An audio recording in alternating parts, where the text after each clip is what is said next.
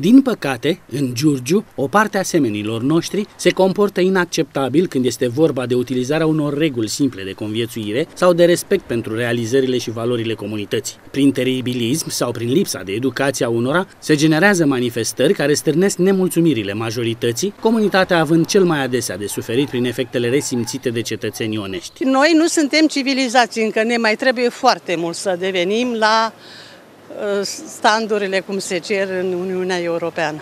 Suntem mulți rămași în urmă, din toate punctele de vedere. Despre menținerea curățeniei sau despre toaletarea pomilor s-a tot vorbit și se va mai face vorbire, dar despre modul în care se prezintă și sunt plasate o parte a plăcuțelor cu denumirile străzilor, probabil se va mai vorbi. În piața Sfântul Gheorghe din Giurgiu există plăcuța cu denumirea unei străzi, Tudor Vianu. Ea arată, așa cum o vedeți, de mult timp și reprezentanții administrației locale nu au întreprins nimic pentru o corectare. Ca și în cazul unui alt astfel de reper stradal, mai greu de reperat, din cauza amplasării sub copertina și pe terasa unui restaurant din vecinătatea intersecției dintre Calea București și Bulevardul Dacii. Și în acest caz, situația este destul de veche.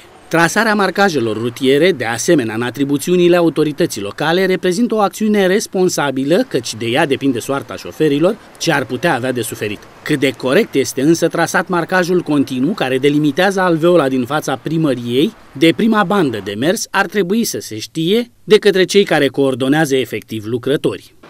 Și dacă tot a venit vorba despre administrația locală, ar fi bine să se țină cont de maniera la care se execută în oraș marcajele rutiere. Pentru că, de exemplu, în față, aici la bibliotecă și la primărie, există un marcaj care comportă niște neînțelegeri. Mai precis, un marcaj continuu, alăturat unui adis continuu, care nu explică cum, de exemplu, acest tico a putut să pătrundă în alveolă și mai ales nu explică cum ar putea ieși fără să încalce semnificația marcajului. Marcajul continuu, scurtat la capătul din care începe alveola, ar limpezi accesul pe suprafața acesteia, fără încălcarea liniei continue. Astfel, pătrunderea pe suprafața alveolei, cât și părăsirea ei, s-ar efectua regulamentar.